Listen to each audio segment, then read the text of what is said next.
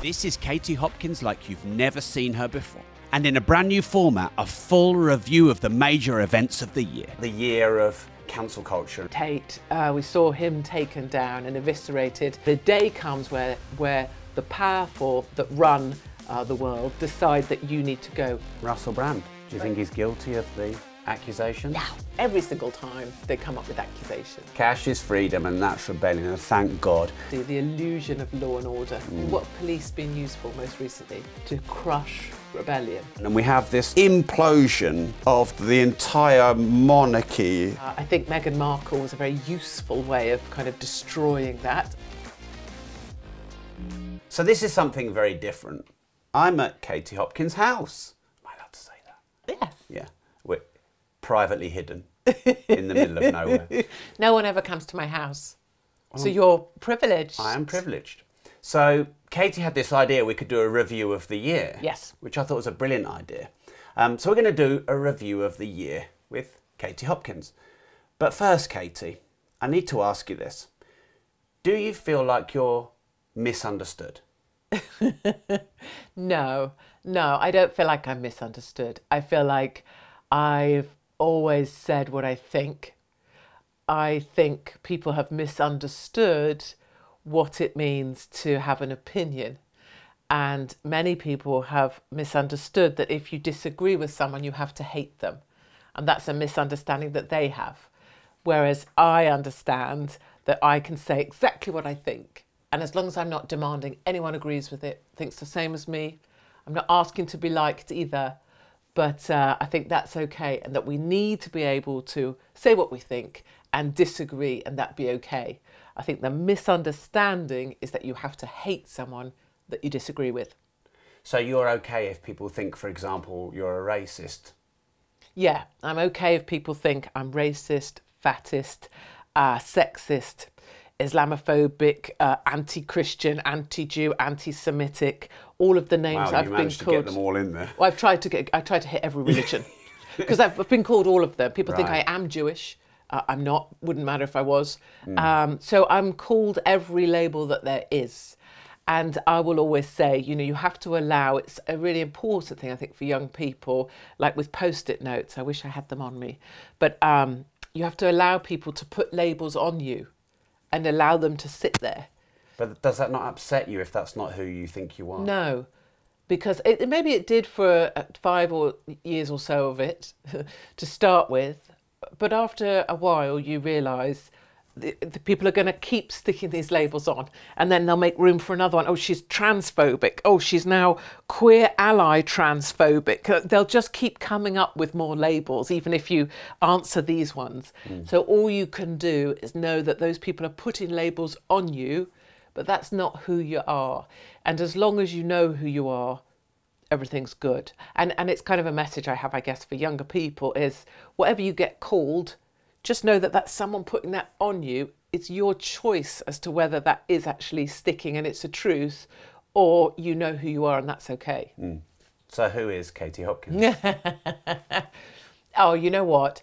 Um, someone that wants people to be all right, someone that wants everyone to be all right, wh- whatever they're doing, someone who wants people to make it through this craziness that we're living in, someone that knows that things can get so dark you see no way out other than ending it, uh, someone that wants everyone to do be as bloody weird as you can be. Because my view is the only way we're going to make it through this is by being weird and um, be as weird as you want, and you go do your thing, and I will cheer you, and I will cheer you, and I will cheer you. Just don't ask me to pay for your crap, believe the same crap that you believe, or in any way change my views to try and fit with what you want me to be, because I won't.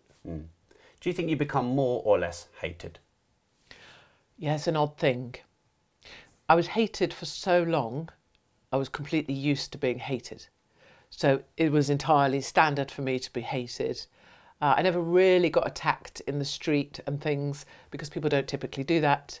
But I was absolutely hated. So I, and because of being hated, it means all sorts of things can come for you. Uh, people came for my jobs, came for my children. None of my children have my last names to try and protect them. I've never been to any of my children's schools, not one day in their lives. Um, I don't own anything. I don't have anything, so that if someone comes for me, it's just me and it doesn't impact on my family. So it's that level of hate that gets to quite a point. Um, and I can't be booked on anything. I'm banned from all mainstream. I'm, I'm utterly hated. And then a really strange thing has happened in probably the last couple of years is that because the world was so confusing and has been so mad and, and people are fickle and disloyal and inconsistent, I've been consistently me. And a, and a strange thing has gone on where I now have people that support me and outwardly love what I do. And that's been very awkward for me to deal with, indeed, as you can see. um, I st- Well, because you're always waiting for them to turn on no, you. no, not that. No, Oh. not at all. Just I became very used to having to rely on I know who I am. Uh, good people that know me, maybe three people, know who I am, and I accept that everyone else hates me. And now uh, I have thousands of people turning up at events, and they are supportive, and I find it very awkward clapping or anything. I, I still really struggle with. So, It's not that I like being hated. I'm just pretty good at it now. right. And so any moments you- where it hasn't been the case, I've found incredibly awkward. Is that what you're sort of almost in, institutionalized for the world to hate you and it's just hard to undo it? Hard to undo it. And also, I don't feel, I didn't come out, I didn't ever just start speaking my mind in order to be, oh, here I am. Everybody will love this. I want to be loved. It wasn't. I just always saw things that weren't right and would always say what I thought was right. And now I have a lot of support and it's and it's a very nice thing. Hmm. So here's a question for you. Would you go back to the start before the hate and repress your opinion oh, so that you could watch your kids at their school plays, take them to school, they could have your last name, not have people come for your properties, your bank accounts and everything? Would you change that destiny if you could? Oh, I thought you were going to ask if you could have all of that life again, you know, because life is finite and it's ticking away. If you could go back to the start and live it all again, would you? 100% no. it's been exhausting. Like I, if I if someone said to me, "Right, tomorrow you're going to wake up and you get to live every day that you've lived, you live it all again." I'd be like, "Sod off." Like, give me a Mars bar and sod off. No way. But would I, knowing all that I know about the dastardliness of what I've brought on myself, often because of my mighty mouth, would I change a thing? Do you know I wouldn't? So you would not repress your opinion even to be able to see your kids at school growing up? No, because A, I don't like my kids that much, and B, uh, I shouldn't encourage you, should I? just, just do cutaways as we go like this. but truly, kids are really overrated. You've got some, haven't you? Two. Yeah, so you understand. It's like this idea that you have kids and you're supposed to go, oh, isn't this great? Like people say to you, oh, don't you feel now that your life is complete? Nah, my life was pretty good before. Like kids are like quite nice to have, I guess, but like not at all my life. No way. I'd lie down in front of a bus for any of them tomorrow. That's not the point. It's that I had school gate mums. I would rather stab myself in the face with a blunt butter knife than spend any time with school gate mums. Uh, parents committee, uh, bake sale, uh. like no. So the fact that I couldn't have my children's name and that I couldn't go to their schools, there's been some Brucey bonuses with that. Let's not get carried away. Um, also, all these people that have their kids living with them still at 22, 24, I consider that to be a failure of parenting. Like, get those kids, get them gone. Adult swans, when their babies have grown up, the cygnets, hmm, learning moment there, baby swan, cygnet. hmm. Glad I drove all the way down for this. You're in property, you might not know that. You don't come from the countryside like me. There comes a day where both the adult swans turn around and attack the cygnets, like full on attack them so that they fly away and find their own space. And I've taken Is that what you did to your kids? Yeah, that's why they're not here. but my point is um, that I wouldn't change anything because actually, my life, as it turned out, I've been the same person all the way through.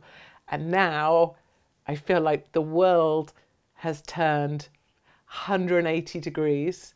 And so suddenly now I have this huge support, not of people that like me necessarily, but people that are willing to see that we don't have to agree.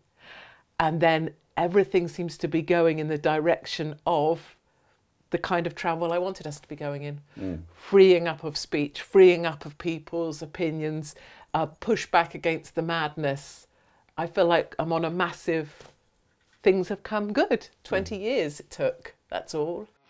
Rob.team is my digital financial freedom platform where you can learn, earn, invest, start and scale a business, and make, manage, and multiply money. There are hundreds of hours of courses, resources, masterclasses you can join right now. It's all on the other side. I'll see you there.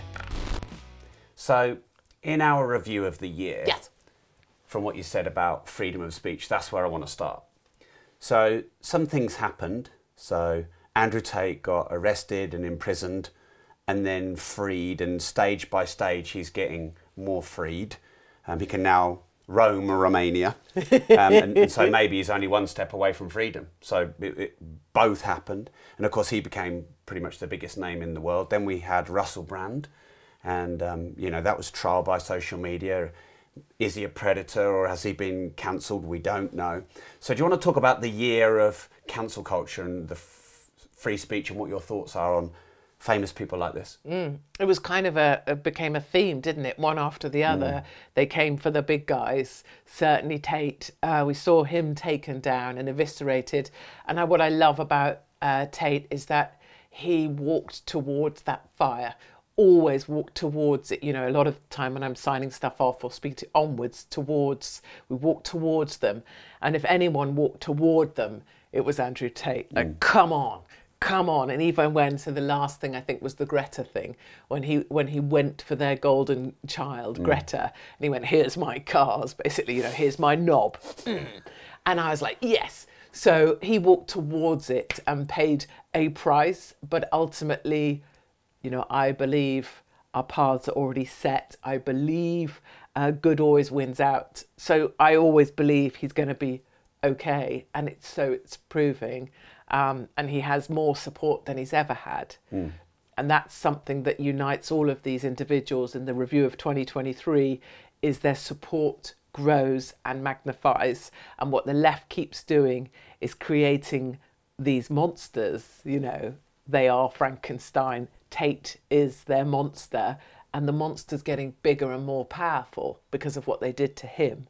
Uh, just quickly on that yeah. one before we move on to someone else, because I remember watching an interview with you where you said you knew exactly what had happened to Andrew Tate because yeah. it had happened to you. Yeah, 100%. So could you tell us what exactly happened? Yes. So once the day, they've got their eye on you and you see signs of it in all different places, my daughter's bank account being cancelled.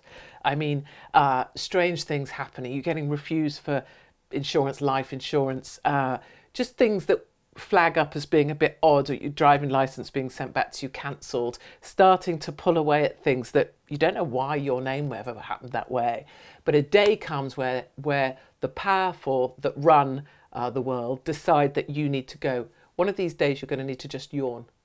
When you do a yawn, you just need to do a yawn. Okay. Just do this. Oh! Is that an instruction for me to do yeah. it? Yeah.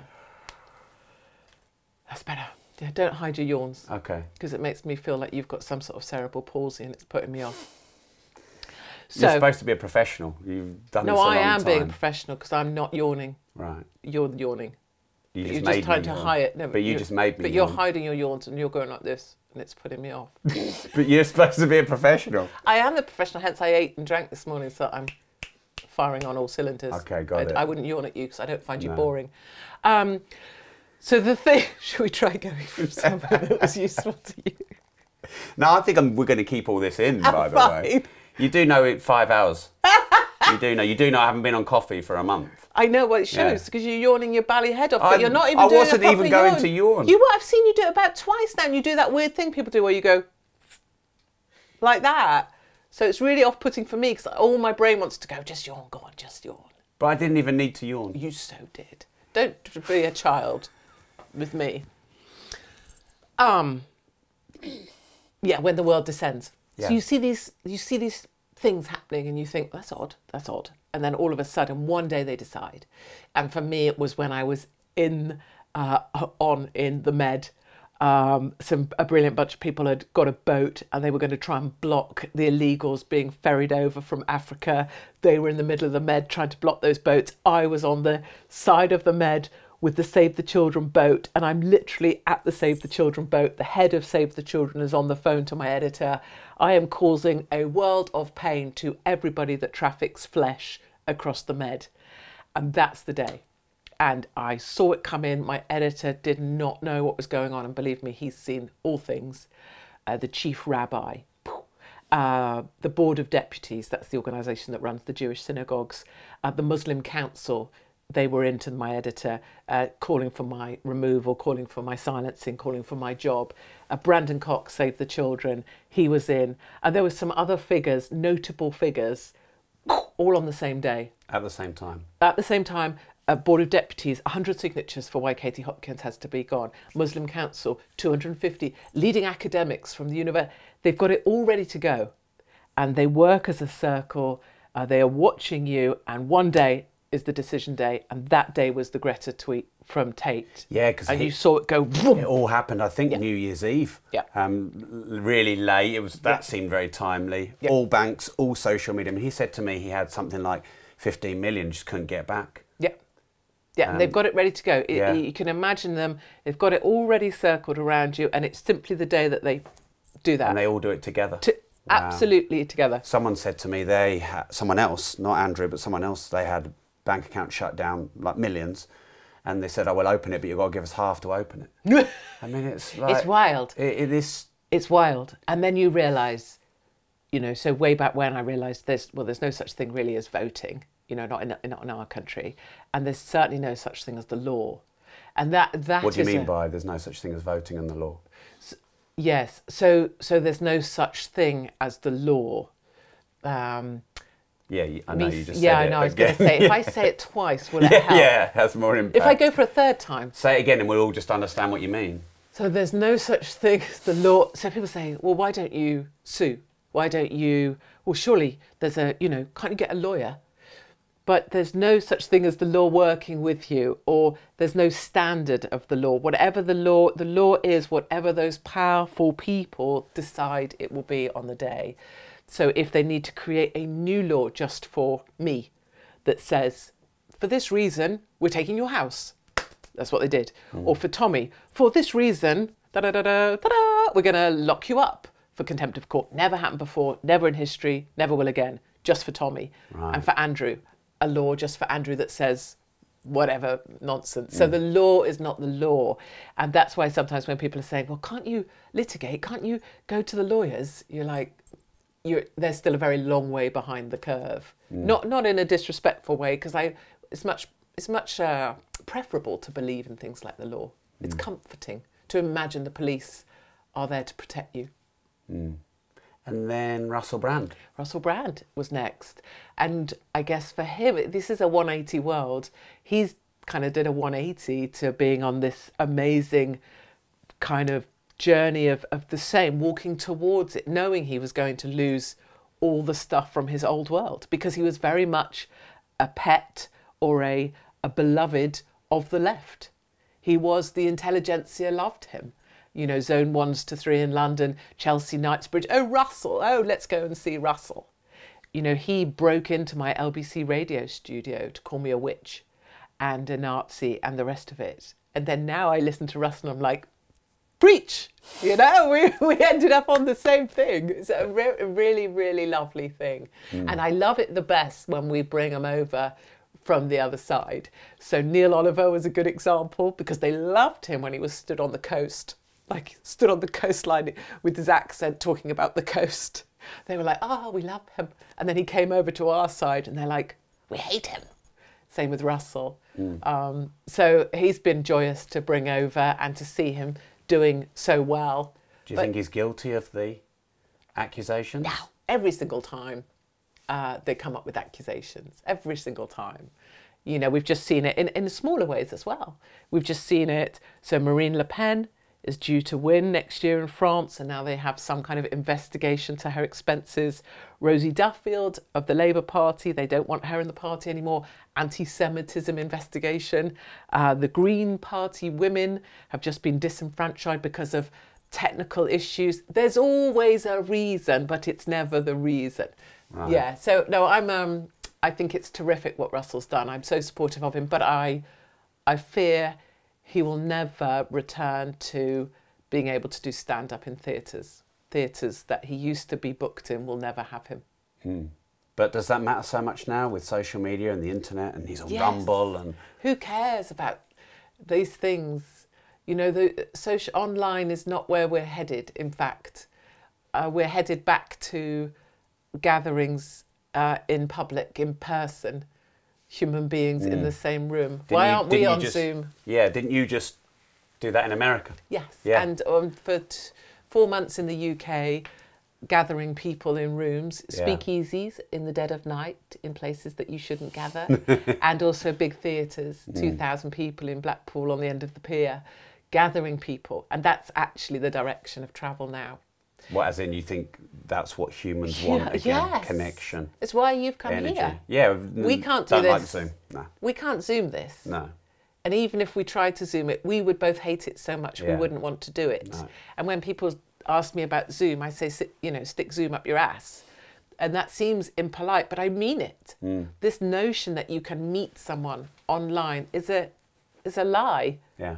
And humans have such a thirst now to be together that as much as Russell has built a very successful Rumble platform, I'm sure, and as much as I'm so grateful to Elon for bringing me back to Twitter, on social media is is in its end days. People are bored of it. It's over. It's done that way. We need people. We're hungry for people. And so, and that's what I find as I go up and down the road and on the road in America. So summarise then where you think we're at with our freedom of speech and cancel culture. we are fighting back now in a meaningful way. I feel like I've been on it for 15 years through the silencing, uh, but I think with Elon Musk being able to wield his mighty weapon in the way that he has has been beyond hot. We'll come back to that. And Oh, we've got a whole God. section on Elon Have we Musk. got? Have Yeah, we? We can yeah. do more. Yeah. I am 100% willing Do to you need blow me to leave you Elon. alone? yeah, I just there's things that go on with me and Elon that have definitely helped my marriage. I'm just going to say, but um, so so attractive. But I just love the direction of travel now. People coming back. Alex Jones just came back. A Mm. sense of uh, Farage did a great job highlighting the banking nonsense. Uh, and I guess personally, I've been so it's so cheesy to say humbled, but I've been made to feel very, very tiny by venue owners that have said, you know what, we stand for free speech, we won't cancel Katie, and have stood firm. And that's been a, an amazing thing for hmm. me. Yeah. Actually, this side, I know we're, we're portrayed by mainstream as being conspiracy theorists, not as, There's just like a handful of them. There's just Russell. Oh, there's just Andrew Tate. Oh, oh, there's just the billionaire Elon. Oh, there's just oh, actually, there's Tucker. There's Dylan. There's a good 20 million British people who are right with any of us at given hmm. points. So it's an exciting time. It hasn't got worse. People just are starting to realise because of lockdowns and the nonsense, and they're seeing this stuff. Yeah. And the internet helped that. And that's why what we're seeing now is this pulling back of freedoms that you know you had. They're, they're being taken. Mm. And that's the other reason you're aware of it. So, like, if you've got kids and you see your 18 year old being asked for four and a half grand for insurance for a car, you know what they're coming for, which is young people's right to drive. Hmm. You see what all these different ways that we're being made smaller and that wasn't the way back in the 70s, where I'm sure you weren't around. We felt like life was to be made bigger and freer and naughtier. Hmm. There's not enough naughty now either. No, no, I'd agree. And do you think this is just the natural order of empires that grow and then empires that fall? I, I study a little bit of history and I think, God, this is terrible time, but there were much worse times in the past. Empires rise and empires fall. Mm. Is, it, is it just the natural order? Yeah, it sort of is. It's this It's like a part of the cycle, of the natural order. Yeah, is that individuals had so much freedom like peak freedom, 60s, 70s, Yeah. I don't know. But too much freedom is bad. Is it? Well, yeah, I mean, if, if everyone was free to do whatever they want, we'd go back to the 1200s. Well, there's some basic. And they'd be like, oh, well, I'll just come and burn your village down and rape all your women and steal all your farm animals. You know, you need some. It's like a pretty good day out. um, I think there was a there was a peak freedom, right? Which is the American Constitution, which I could put my hands on in about three seconds in this house, because I, I love it, I live it, and I eat it. Which is there's three things the government are allowed to interfere with you about. One is to protect your right to life. So if I came and I was trying to kill you, which could happen, you would have a right to be preserved. The second is your right to liberties, your right to bear arms, your right to live your life how you to work to keep your family together, and the third thing is your pursuit of happiness. The, uh, the government's third reason for being Well, that's been is to- fucking forgotten, hasn't it? right, It's the suppression of happiness. right, right. So the Constitution of the American, well, the Republic, Mm. right, was the moment of the pinnacle of people's freedom. Right. And since then, That was the start of the end then. yeah, it's been about taking away, Yeah. pull it back, pull it back, and and but it will come back again because it's starting. We're at the start of the the freedom thing. has been- Rebellion. yeah, I can s- I can smell rebellion. Yes, look at Yeah. you! I knew we would get you into this space. Yeah. Well, I mean, I don't mind saying this on record. I don't say a lot of things on record. I let my guests do it, and people take the post-it notes off my guests and stick them on me. But if they're going to try and lock us down again on some tenuous evidence, fuck off. No, I will keep running my business and serving my clients and paying my staff, and fuck off. That's how I feel because they fucked us so badly last time. It's quite hot. Sorry. Those tones of Elon Musk taking me back to some very excitable Well, places. we're going to take a break halfway through so you can. Well, I might just get that clip that you just made there and just watch right it then, quietly, sure. naked, and play with my own nipples. to do what you need to do. Quite exciting. It's whatever you need to do. Well, that will be what I need to do. All right. Shall we move on to Prince Harry then, just to um, change the tone down? So Prince Harry releases Spare. We have the coronation, and we have this like almost implosion of the entire monarchy, the great institution of the UK, and it's like all of a sudden everything is just exposed. What are your thoughts? Mm. You know, it's like things people can believe in. One of the ways that you get a, a population to rip itself apart is remove things that people had faith in. So some people may have had faith in the church, and we've seen how you know our churches are now architects' offices, which really annoys me. Um, or you could rip apart things that they might believe in, like people may have been proud of their flag. So you make it that people can't fly the Union flag anymore, that a flag is kind of a racist symbol. I mean, imagine the flack you're going to get for sitting in front of part of the Union flag just because it happens to be in my house. Um, and then the royal family. Now, for young people, it may have been meaningless anyway. You may be anti monarchist.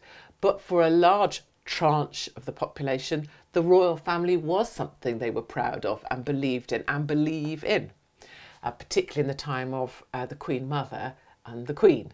And my family were always three o'clock on a Christmas day. Everybody has to be in front of the TV to listen to the Queen.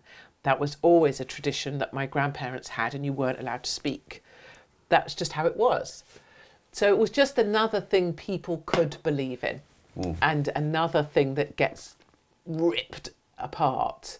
Uh, I think Meghan Markle was a very useful way of kind of destroying that. Obviously, in a modern era, what's the relevance? So when you say of a monarchy. useful way, are you implying she's some kind of plant?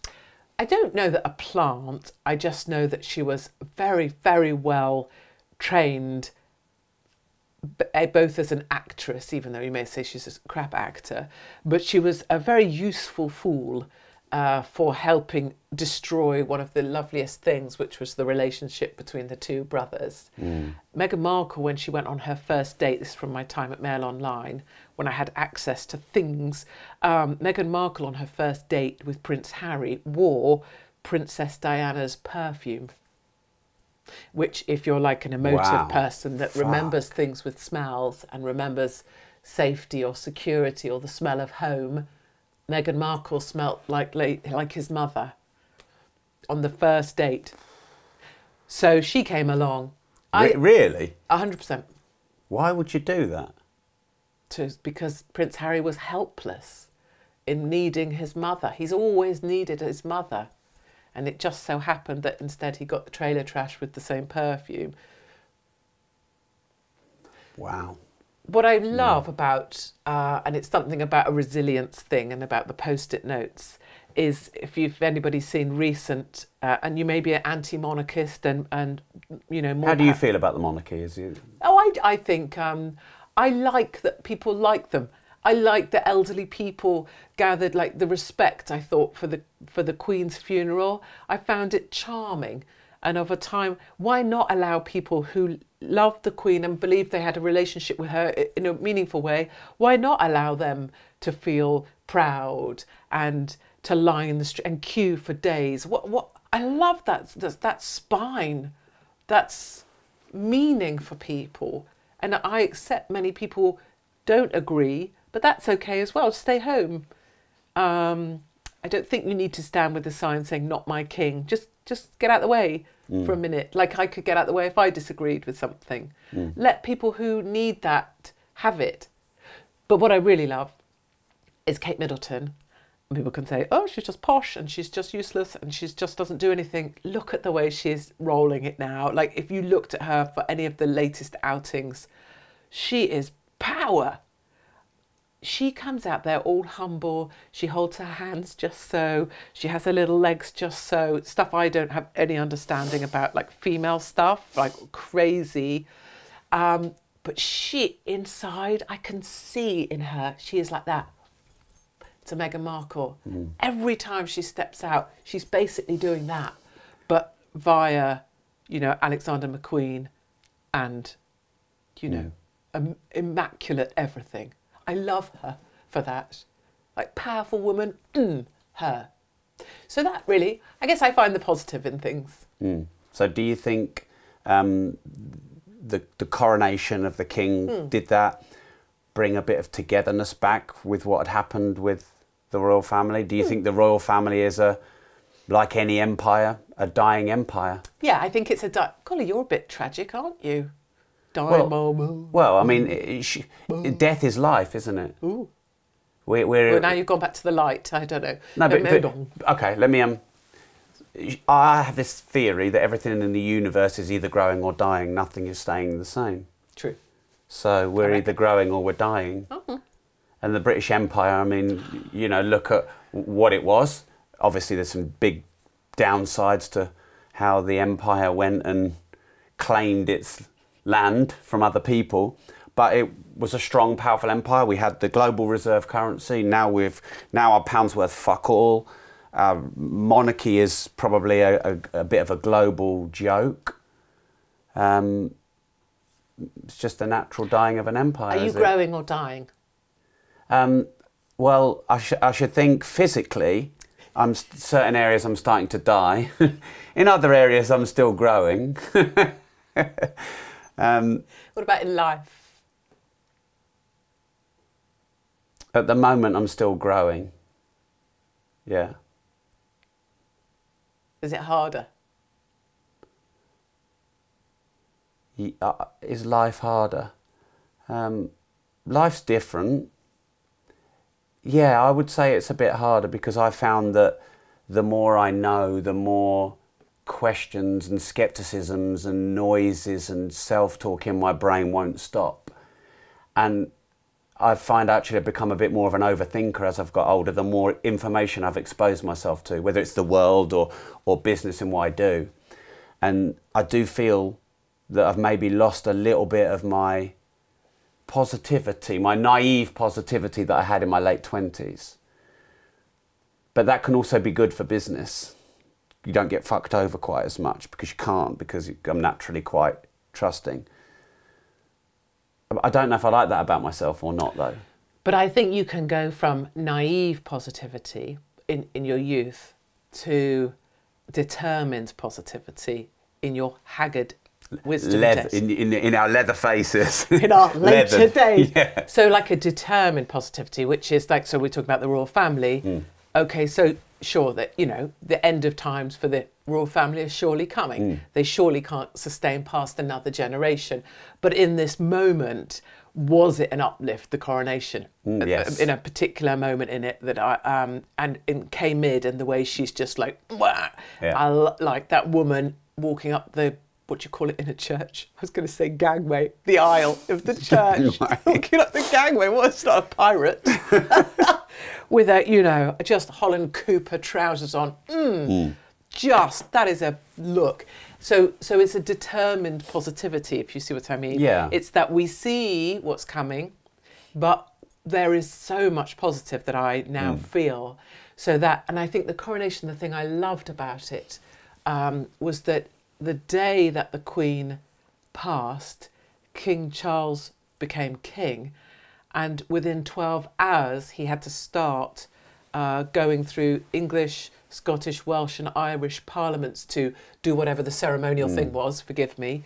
But what an amazing thing to have been schooled all your life that that was your purpose. And within 12 hours of losing your mother, you are stood in parliaments reassuring the nation. Ooh, gives me the shivers. Mm. Mm. Reassuring the nation. So you can be anti-monarchist, you can be anti-everything, you could be anti-me, but I, I very much like the sort of moral courage of that thing. Mm. And what about the Queen? Whether you like the monarchy or not, did you ever hear her complain? Now, Never. When all the stuff was happening with her Prince Andrew Oh my God. and, you know, Harry, when did she once lose her her, her, yeah. aura? Aura. Never. Unbreakable woman. And right at the end, when so everyone was gathered, weren't they, outside the balcony, and she'd gone in because she was in so much pain, and she couldn't come out. And and King and Charles went in evidently and said, "I really think, Mummy, you should come one." lo-" And she made it out there, and people didn't know that within what was it, eight days, she would be dead. Yeah. But she knew because she had to battle through. So yeah, uh, you know, without kind of labouring it for those who are completely over the royal family. But you could you could be over the royal family and but respect the Queen And respect for- strength. Yeah, strength. So strength is what Yeah. I, I and I respect it with the, the Queen, and I respect it with what King Charles was able to do at the same time as he lost his mum, Mm. and I so respect it with Kate Middleton. Amen. yeah, So, debanking. Oh. This has been a big theme of the year, hasn't it? Oh, you are a PEP, a politically exposed person. We'll just shut your bank account down. And Farage was the big. I know Nigel really well, and they fucked with the wrong person there. I think. it was glorious. He like yeah. So what do you think about de- is debanking a thing? What do you think about it? Yeah. And Nigel Farage. Yeah, Nigel Farage did a tremendous thing because he took what could have been a private matter for him to resolve and be rewarded for resolving and whatever, and he made it super public. And of all the things I'm grateful for, I'm grateful that he had a platform on GB News to do it. I'm grateful that he just kept going. Like the, they were like, okay, sorry. And he was like, nah, I want the papers. I'm showing the papers. And then it turned out that Simon Jack, from the BBC, whom I know and known for a long time, was the guy who was at a dinner with the head of the bank. And that's how that whole lie came about. And this is exactly how the world works is that at private dinners, powerful people sit with each other and this is actually how decisions and business and many of the things we see in the political realm are done. So Simon Jacks comes bowling out with the exclusive that it had nothing to do with Nigel Farage's politics and everything to do with the fact that he was cash strapped. Um, Which is really damaging for someone's reputation to say that. Right, by the way. Simon Jack to be Yeah. able to do that. And then he faced no consequences. He went on vacation, Simon Jack, for two weeks and now he's back. And that boy still has escaped any of the harm that should have come his way as a direct consequence for him being a treacherous little snake. So I think Farage did a lovely job. And, I, and there are people who say, oh, well, it's all very well. When it's Farage, people want to hear. But when it was me, no one cared. But now they know because of Nigel. Exactly, Yeah. Mm. and that's totally my view. Is I I understand the um, upset of people who feel like, oh well, no one gave a shit when it was me. Understand, but thank the Lord we now have Farage that exposed it. Mm. same with um, you know any of these others that have been out there. People say, "Oh, but it happened to me and no one cared." Get over yourself, because as long as we have somebody speaking out, it's a great thing. So Nigel did a great thing. The banks have had a shot across their bow. Dame what's her face doesn't get to take home her ten million pound uh, golden handshake. Um, and I think he yet again did a real service, and I'm pleased to see Nigel doing so well. And I certainly think he could. I certainly see him back in politics before too long. Do you think he'll be prime minister one day? Wouldn't it be so fun? Geert Wilders in Holland. Uh, you're going to have Marine Le Pen in France. She's due to get in. So their elections, I believe, I want to say June 24. Uh, Spain and Italy have gone our way. Uh, Argentina has gone our way.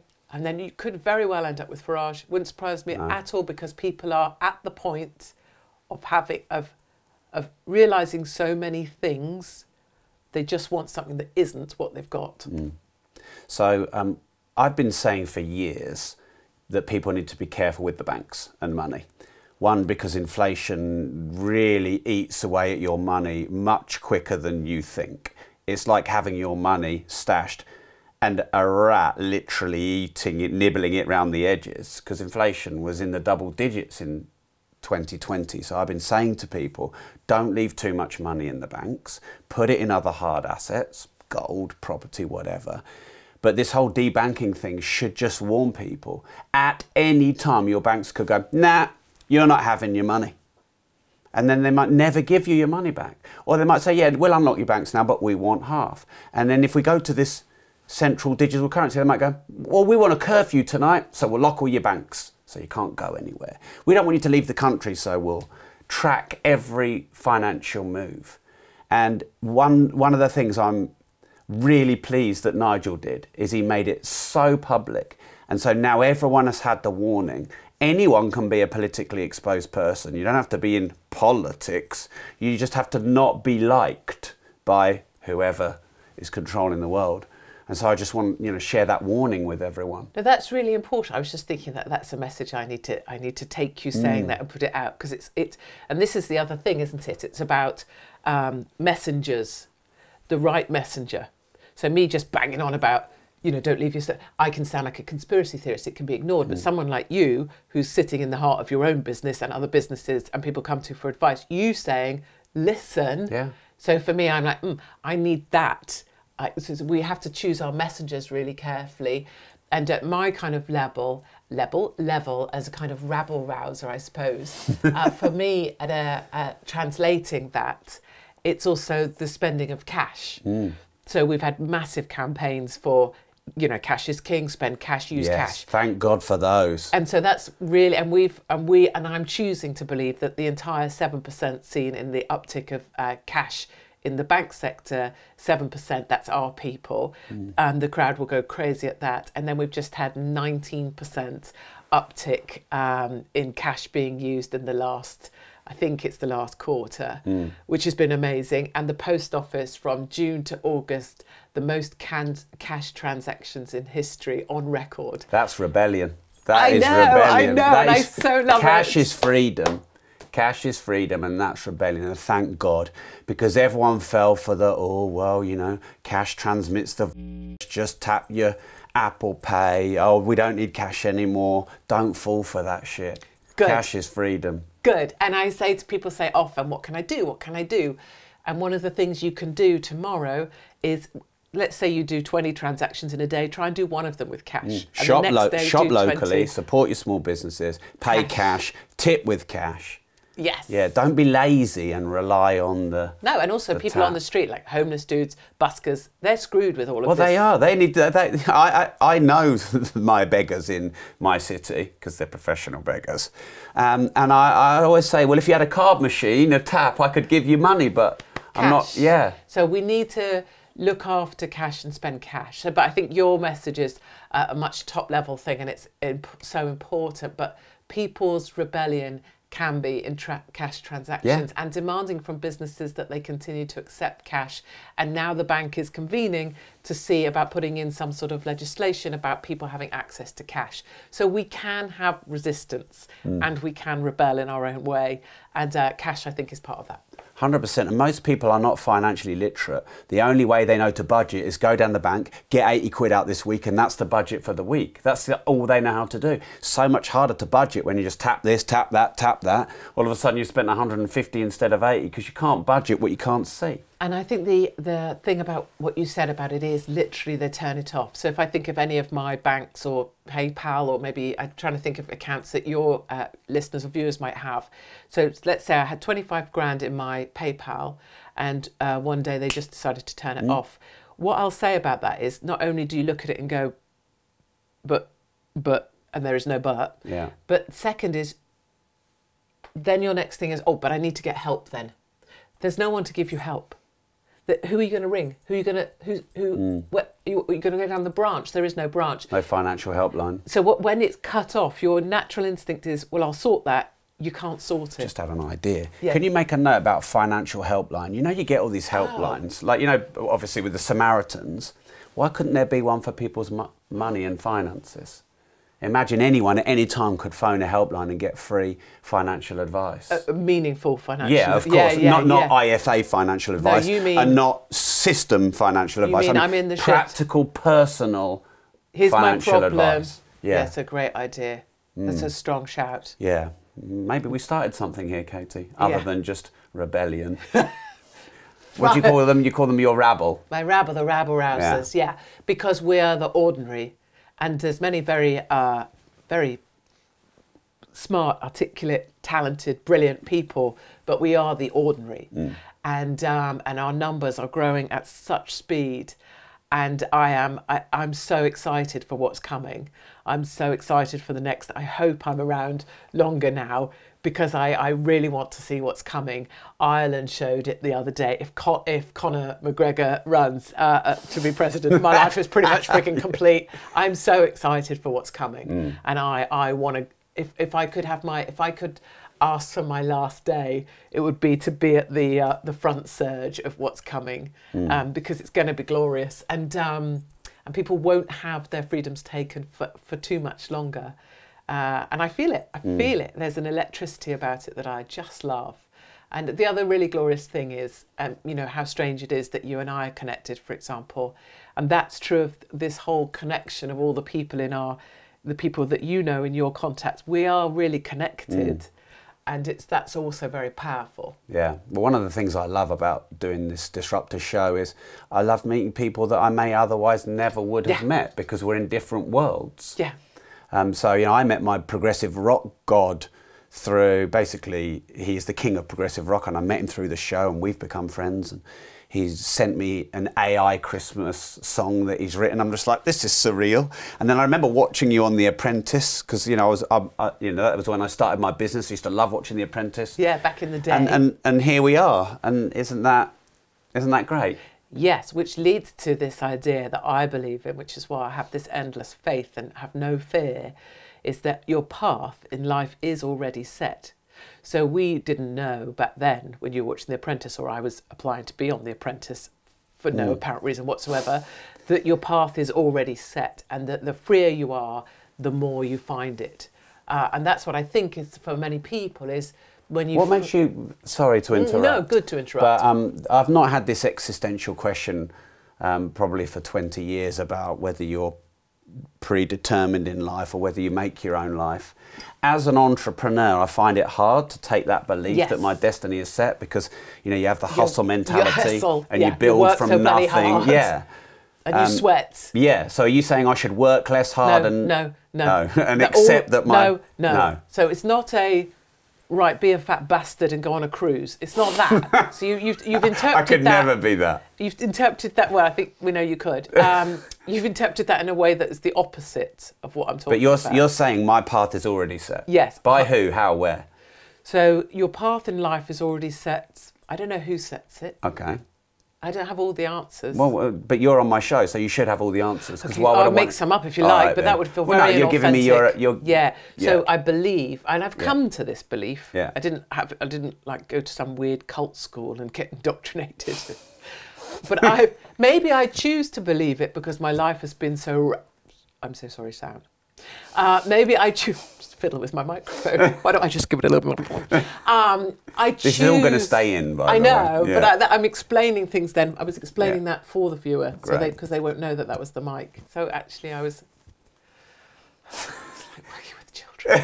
um, so maybe I choose to believe it because my life has been so random that I'm trying to make sense of it, right? But I believe that your path is already set, and the more that you endeavour, right, the more that you're bold, the more that you sweat from your nutsack to employ this person or buy that or hustle that deal, the more you find your path. So it's about maximum effort or Right. maximum. So Tate, maximum strength, maximum bra- Elon Musk, the advertisers, right? Maximum bravery. You find your path.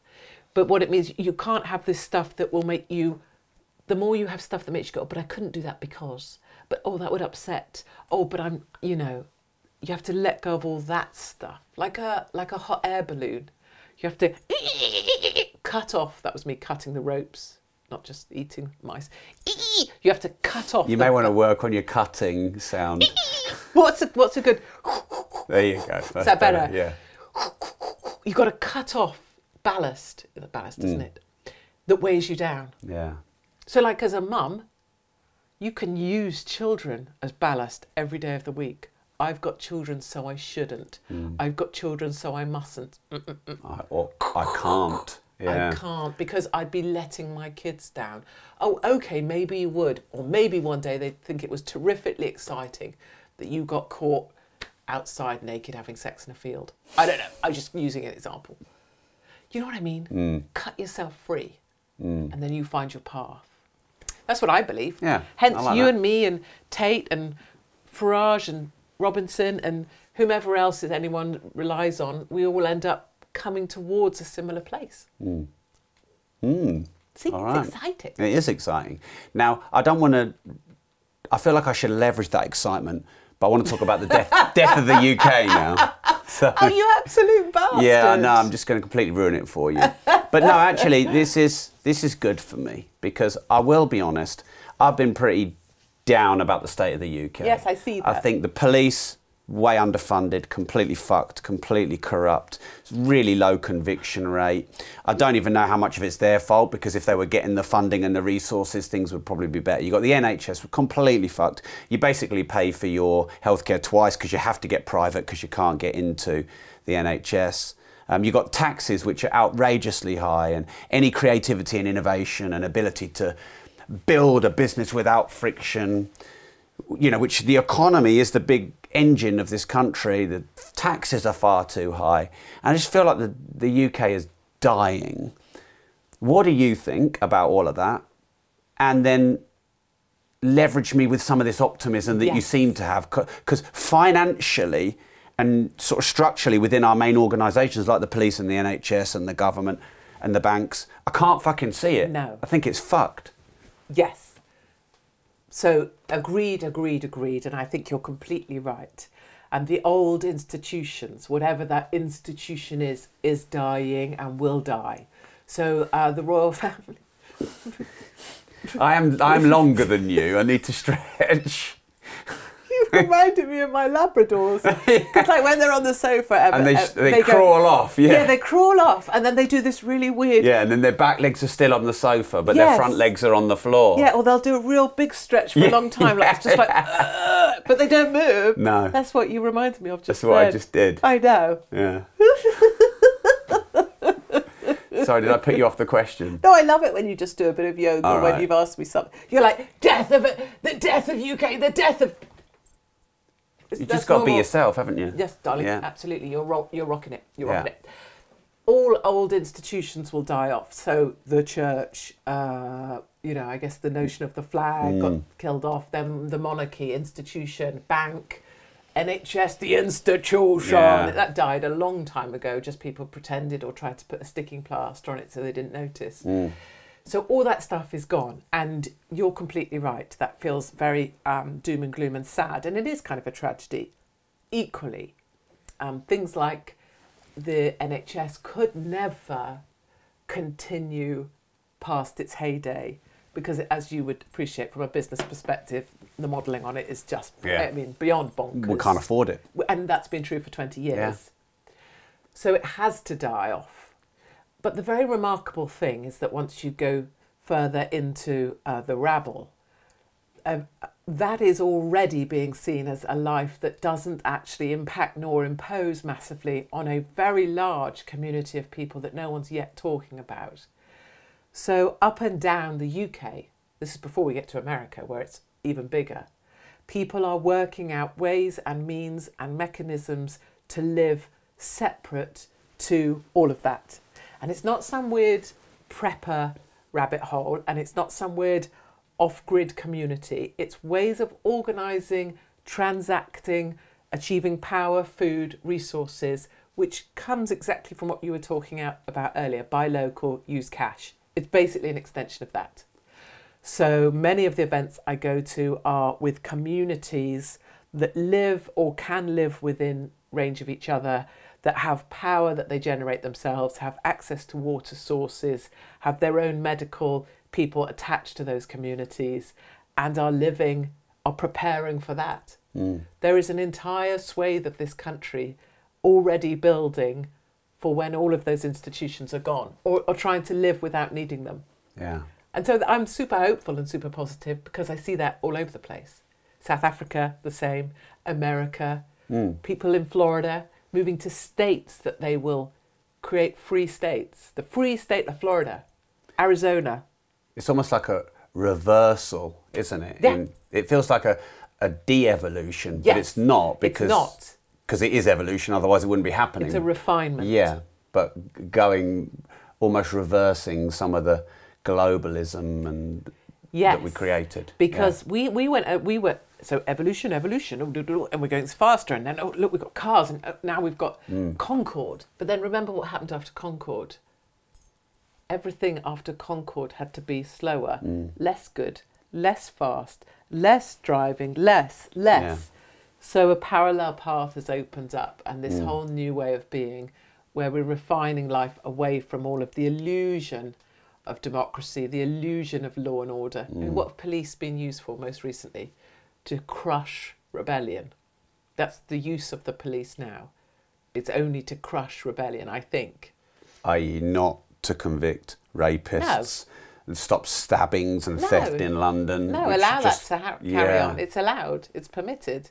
It's just a few communities. The black, the poor black areas of London, people stab each other. It's been allowed to carry on. If someone wanted to stop it, it would have been stopped. Hmm. No one to stop it. Same with the boats. No one wants to stop them, otherwise they'd be stopped. The things that are permitted Mad. are permitted. It's so mad. It's we live in mad times, we do live in mad times. which is a great thing, because this is the time to be alive. well, it's our only time, isn't it? We've got to make the most Wow. of it. Oh, go on. no, You're no, going to give no. me some afterlife no, theory. No, I'm not. I'm not. No, no. I believe when you when you pop off, you pop off. But I also believe um, I believe people are still with us when they've left. That's important. So because I, I don't know about death really, uh, but I do know that I believe people stay with you, and and that might be in memories or photos or smells or moments, but they stay with you. So I always tell my children, um, I'll be in your pocket.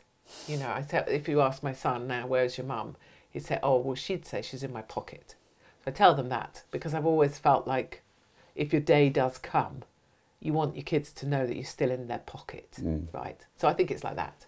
But yeah, no, I think this is time. I think you should be, I think you should be, your focus should be a getting the noises in your head to be quiet. You have to you have to be the boss of them in the way that you're the boss of your business, and you have to be the one that says no.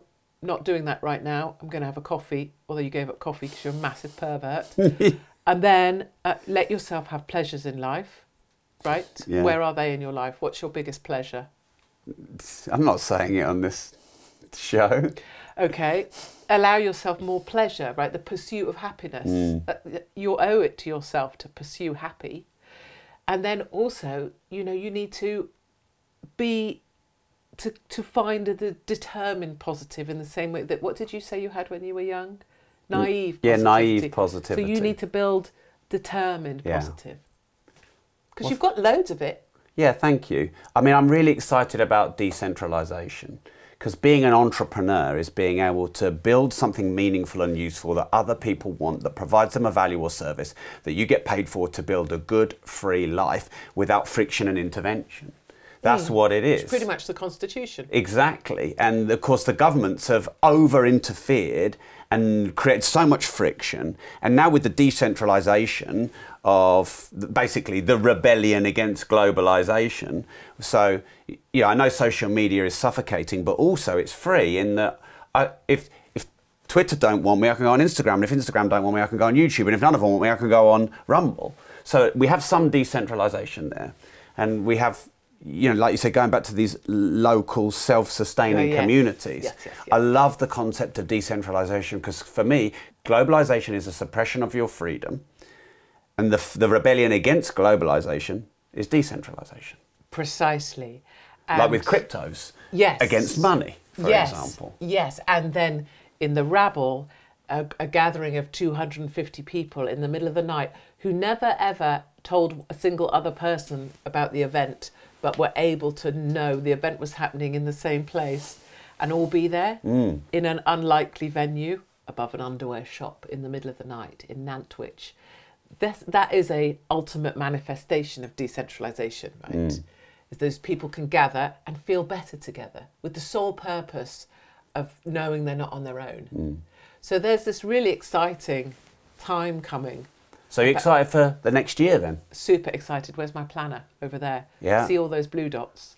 They're all stand-up gigs. So Ooh. April through till You've got a June, start of July, yeah. we'll be Yeah. on tour across the UK. Wow. The Silly Cow tour. Yeah. Katie Hopkins, Silly Cow. Is that is that actually what it's called? Yeah. Oh right. So can people book now? Yeah. And it's called the Silly Cow Tour. Yeah. Right. Because some people that hate me, or think they did, or used to, whatever, will be like Hopkins, oh, the silly cow. So I called the tour that. Right. I see what you did there. Yeah. So, so are you are you an activist? Huh? Are you an activist? no, what? no, I hate that word. Because that always reminds me of very privileged boarding school kids called Phoebe Hmm. with purple hair who stick themselves to the tarmac by their nipple hair. I'm not one of them. Right. I'm, uh, I don't know, I'm out there with the ordinary people fighting the good fight. Always have been 20 years. So it's really, this is just, uh, I feel very lucky to be around now. Because it could have, I could have been offed or not been around to see this bit. Yeah. So I feel like we've all been running with the baton for a long time and now we're really making some headway. Mm. So, uh, so I would like to see you more, feeling more. I would like you to genuinely believe we're headed towards really great things. Yeah, I think we are. But I think it had to get bad that Has bad. To, has to. And unfortunately you have to go through that. you have to. Yeah. It's like for me it feels like my relationship with the UK, it's like I'm it's like I'm divorcing myself from the UK and I'm going Yes. through the pain of that. Yes. But there's so many exciting things Yes. as what was breaks and then all of a sudden you see what could be, what could have been, and you see opportunity. Exactly. And then you can have the confidence. All you know, you always have confidence in yourself. So not like, oh, I'm so great, I'm so this, I'm so Hmm. that, but more, I, here I am still.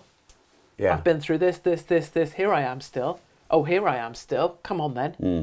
And that's true of the people around you. They're still going, and um, so you can have confidence in that. Hmm. So yeah, it is exciting. I mean, there's a lot of terrible things, and a lot of people are really, really, really struggling, and that's that bit is horrible. And like, oh, we're just doubling the cost of this. Where the hell are people supposed? People on a on a limited or constrained budget, with fine. Where the hell are they supposed to find that? And this doubling is done in the knowledge that they can't find it removing a health service and people not be able to afford private, it is done in the knowledge they can't access private healthcare, right? You know, this is the heartbreak of the ordinary, is the smalling of people, the crushing of people actually physically means you're going to crush them. Yeah, that is sad, and I think that's entrepreneurship is the solution and the freedom to that. I.e., that thing you've always loved and you've always wanted to do that you haven't had the courage to do, or you think you couldn't do because you've got kids and mortgages and everything else. Surely now is the time to fucking try it.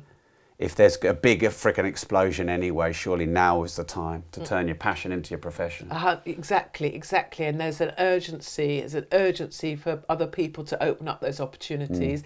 And there's an urgency now, and I, and I really like very much the way it's forcing people to think do I need the house? I can't afford the mortgage, I can't afford where it's going. Maybe we just sell the house. And and I appreciate the rental market is horrid, but people moving out into vans and vehicles and caravans and you know that there is a there is a gloriousness about the freeing of that. Mm. Mortgages were one of the ways of control course. and freeing yourself Pledge until that. death. Exactly. Yeah. Maybe not now. Yeah. Maybe not. And maybe the way you're freer is by joining one of these communities. I'm not. I'm not advocating it for everyone. I know people love their homes. Mm. British people, particularly, we grew up imagining that the value of a life home. was to own your own Yeah. home. But maybe that was a, a bit of an illusion now too. Mm. But yeah, there is an urgency, and there is not all of my kind of. It's exciting. For many, many people, it is not exciting No. and they are being crushed and, and killed with a thousand cuts. Mm. And I and I and that makes me angry, mm. angry because they deserve much more and mm. much better. Yes, amen. Final question for the review, and that is AI was big in the year just gone. Chatbot. Yeah, I mean AI everything, AI songs. I mean, there's this big thing, isn't there, in the film music industry. Um, but you said to me before we went live that you know how to cheat AI, the AI algorithm. I want to hear about this. But I'm going to give away my cheat.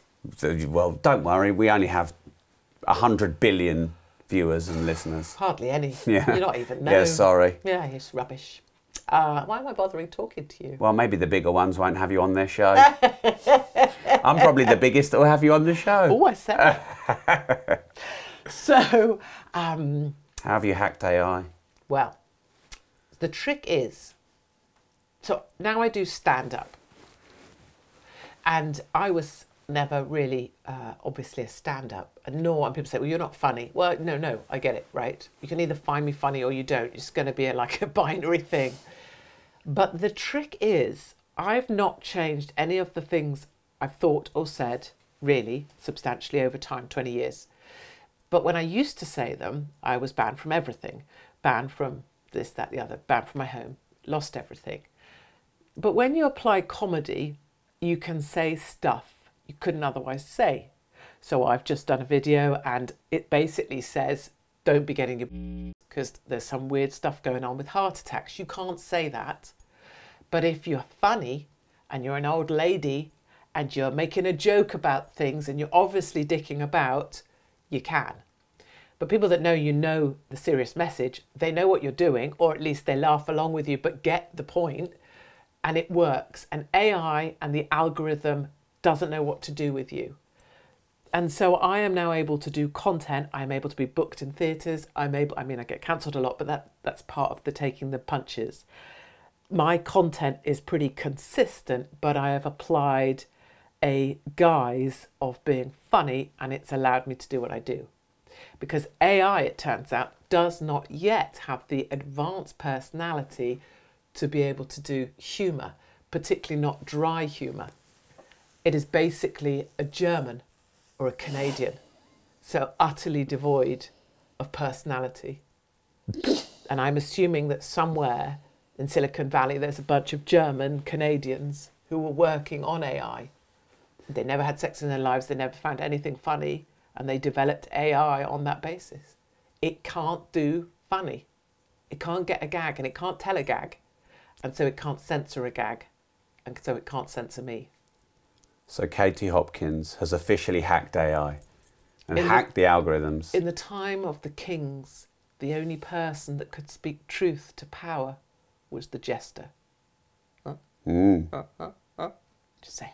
And that is the perfect way to end the review of the year. Good review of the year. Great review. Well, thank you for the idea. Katie, Elon Musk, the rebel. Yeah, I, I know this turned you on quite a bit. Totally.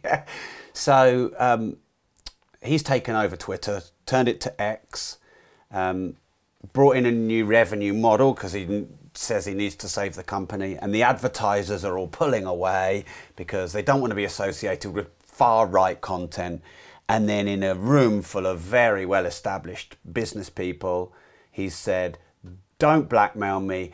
Go fuck yourself. Did you hear what I said? Go fuck yourself. oh, golly. Let's talk about that. Just so exciting and so exciting at so many levels. A, because the guy interviewing him uh, was trying to, you could see, trying to protect Elon and, and even trying to say, oh, but you see, your business model does require these people, doesn't it, Elon? and Elon was like, mm, fuck them. And the guy, you guy, he was trying to help him as a friend, and Elon was having none of it. So he was like, "I'm done with these people." I mean, he even went, fuck you. Uh, or no, he, he Bob- said, Are you here, Bob? Bob, As in head of Disney. So even called out. called him out Yeah. by by name. A guy, can you imagine the head of Disney? uh, How how his life is Yeah. like only minions. Yes, Bob. No, Bob. Oh, blow me, Bob. I don't know. And he just goes, Bob. I hope you're listening. Fuck mm. you. Like Bob will never have known that in his life. Not for twenty mm. years, forty years will Bob have known that. And Elon called it on a stage. But that's so risky, oh, isn't it? It was so. But maybe that's maybe that's. Him, Or is that why everyone loves him? Yes, mm. living his life on the high wire between ultimate disaster and ultimate failure and ultimate triumph. Mm. You know, spaceships, rockets that launch themselves and come back to Earth again and just disintegrate into the stars according to plan by Elon, of course, all planned because he knows what he's doing. I loved it. He's got the woman in the room that he employed to be CEO of the organization to sell advertising. She sat in the seats. She's briefed Elon on what she wants him to say. And he sits on the stage and goes, Go fuck yourself. Wow. Like, just, I was like, it's the hottest thing I ever saw. It's so masculine. Like, it's beyond masculine. You know, there's Andrew Tate, masculinity. You have a certain masculinity, but we don't want to talk about this. We don't want to, you know, blow smoke up your ass. Uh, Elon Musk that day, so masculine. Like, I would blow down at the altar of Elon Musk any day. It's not a require. He's not ever asked for that, and I don't know that I would be particularly his cup of tea. Should we put the, this out as a campaign? Yeah, say, look, listen, we Elon know a slight transsexual looking horse faced old bag from the UK. She is offering to blow you, Elon. What do you say? Just try it. Yeah. If you know if you have people We'll that tweet know that. tweet it, let Elon know that I am totally willing to blow him any day of the week. No charge. Right. I think that's a bargain, mostly just because of his masculine thing. It was just. Mm. Mm, mm, mm. Um, but away from the sexual side of things, also just really, really restorative when, if you know the power of the advertisers, you know, so at LBC, where I used to have a show, the way people got rid of me from that radio show was to go to the advertisers and get the advertisers to pull. Mm. So knowing someone just says, you aren't going to bribe me, Yeah. after all the years of all of us being cancelled at the behest of advertisers, just so not, it just felt like you had a, felt like you had a spokesperson all of a sudden, mm. or a fighter in your corner. Mm. Yeah. Yeah, it's, it's too much control from these big advertisers, isn't To, there? yeah, well, the, the control mechanism of advertising mm. and the control mechanism of the powerful and the control and the control mechanism of the board of deputies or the Muslim council or the Catholic churches doesn't matter what religion. All of those control mechanisms are all the things that are the shackles that we try and shake off. So it just felt like he, it was like the releasing of chains. It was exceptional.